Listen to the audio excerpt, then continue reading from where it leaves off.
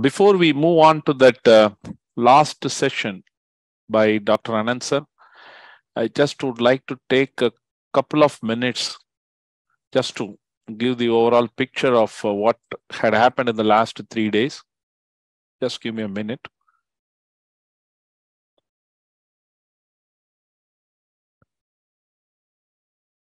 Able to see my screen, one of you? Yeah.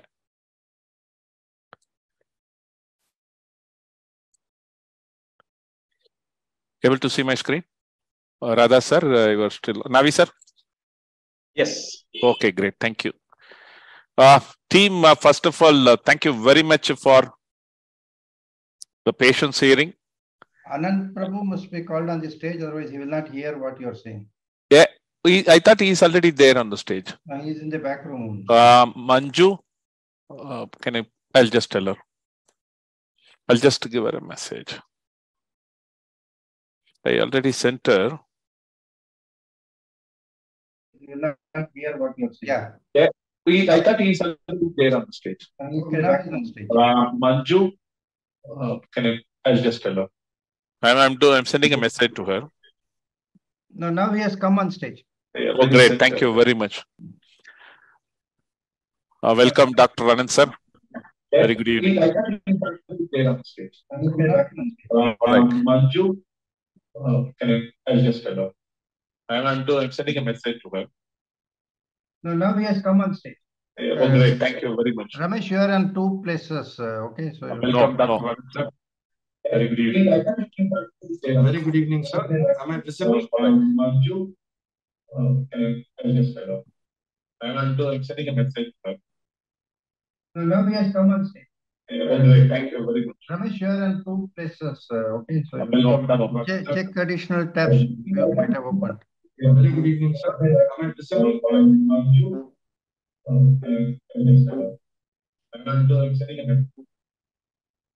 Now it's okay. Great. Thank you very much. Nothing else. Okay. Able to hear me. Right. Uh, You are on mute.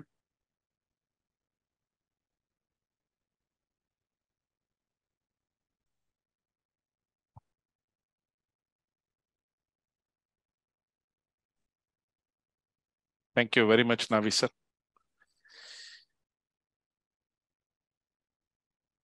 Yeah, sorry for the hiccups, uh, team. Thank you very much for the last three days. Your active uh, patience hearing and uh, participation. And uh, I just wanted to summarize how what we did these three days and what are the key takeaways. Quite interesting. You could see that lots of faces with uh, much diversity from different areas, different to domain, domains, legal to HR to technical to process to whatnot. Just to summarize, as we know, the entire program was uh, spanned across three days, totally almost uh, two to eight in the evenings, almost six hours. I'm just 18 hours of the sessions. 13 keynote addresses means 13 industry stalwart subject matter experts had come on and shared their perspectives, knowledges on various sessions. Seven panel focused discussions and across for all the panels, we had around 22 panel members, eminent panel members again across globe. Interestingly, would like to would like to really give the credit to each one of you in the audience session that average we are having we ha- we were having almost 180 plus participants. And five awards to the key people have been awarded by our eminent award committee which they had presented the process yesterday to all of us. Interestingly we also had uploaded 15 plus recorded video sessions one on interviews with the stakeholders key stakeholders subject matter experts on this area which were available in the resource center at ibentos platform. Would like to would like to update each one of you that the same videos will be available on the site for some more time probably a week or two. And the same would be moved to our fdppi.in site. Please make a note the website. I'm also going to share it with you in the coming slide. Absolutely be confident in visiting the site and getting in touch with us for, for further, you know, our association and add value. Your uh, slide sharing is not happening. No, I, I'm just coming. Mhm. So, so to touch upon the keynote addresses various topics, starting with global data protection regime to CEOs and boards perspective of the data governance, shape of things to come. I think Mr. Naavi said the tone on his ideas and thought process that what the new law need to have as important ingredients with the kind of lessons learned and pitfalls of the existing laws across the globe. And interestingly, section sec, session on session, I could really observe and track that speakers were, you know, talking about it, that what the new law should have. Even with the last session, we heard that people were giving it, you know, back to the society. Artificial intelligence, one of the key area today, even in uh, every session we talked about we need to have a code of conduct we need to have a guideline we need to have AI ethics in place we need to have that process for not having the bias whatnot. I think uh, quite interesting. Newer area newer technology not only ai even with the metaverse. Wow what a session dr Duggal talked about. Securing privacy in the emerging technologies continued relevance of ITA 2000 Act in the privacy scenario, even though, even though we do not have at present a specific data protection law, but that myth has been broken to say that, you know, let's, it's, it's not fair to say that we do not have a law section 43 capital A addresses it beautifully. Adjudication, you know, and appellate tribunal for data protection, need for innovation, very well addressed by the advocate in the afternoon ethical and privacy issues in AI applications were talked about. Emergence of neuro rights. You know, again, Mr. Naavi had brought in even the professor from Columbia, right? A quite interesting uh, video we all had seen. So lots of work is going on on this area in the coming days. I'm sure that keep your eyes and ears open. That you know you will you will probably you know I'm just giving you my experience with Mr. Naavi. We need to be at his pace by the time you finish reading his blog, there would be two in the, you know, your inbox. Online interactions, impact of emerging technologies and challenges to the privacy. Moving on to the panel discussions. As I said, that seven important to focus area today, what really the industry needs. Changing profile of data protection laws outside India. I'm sure that all of you know, all of you are tracking 134 laws 134 countries have enacted or in the process of, you know, it's, it's really a great, um, we need to be, we need to be uh, running behind it. Otherwise we will not be really having an idea. Privacy in corporate DNA, how to really set it up, how to really bring it. Because without starting from, you know, the entire organization getting involved, all the stakeholders are talking to each other, it's not going to happen as we have seen. And um, the stalwarts had really made an interesting remarks that it's not so easy. That's also a point we have taken it. Cross-border transfer of personal data, emerging technologies and challenges, data monetization and emergence of new, new data assets. Quite interesting new topic handled by stalwarts in the afternoon.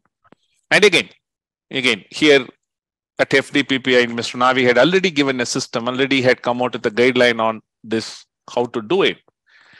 Data audit frameworks, we talked about comparing what we really need to do to bring in a data protection compliance management system. I would humbly request each one of you to really apply your mind, spend some time, go through the DPCMS, what has been drafted, which has also has been implemented in few of the organizations yeah, by Ujwala. And we, we have done that kind of detailed mapping with respect to any one of the existing ISO standards to various laws. And the flexibility in privacy law, how to meet the sectoral challenges we are going to, you know, we heard about it the last session.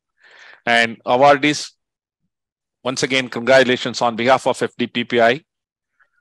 a well deserved team and elected, selected by the uh, very neat, established process by three of our senior colleagues at FDPPI.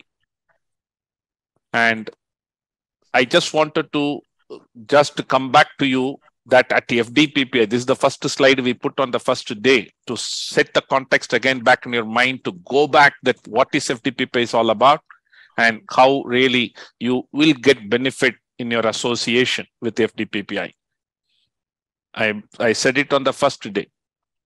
You know, make sure that your calendar is blocked for Jnanavardhini seminar at 7 on Wednesday. Religiously, it's happening subject matter experts from the industry across globe on various topics information security to privacy to technology to you know um, legal aspects etc is getting covered free absolutely.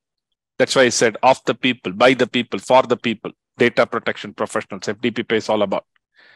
We have that dpji data protection journal of india once a quarter it's being edited, editorial board, an eminent team sitting there at FDPPI, spending their time in really understanding what are all the constraints or the challenges of that particular quarter. We do have lots of training programs to certify data protection professional, which is like your data protection officer program, like in any other, you know, uh, institutes, which are covering from module I, Indian law to module G, global laws to module D, D for data audit, what we talked about. We have programs which really focusing on for the you know youngsters at the college level privacy and youth program. And of course, that last but not least, this is the third year successful, I would say, with all your participation. And thanks once again. Having said, having understood what FDPP is all about, we have different kind of membership, as I said, basic members, wherein you once when you come on board obviously you will be able to listen to all that knowledge what we are talking about. And we have the foundation members.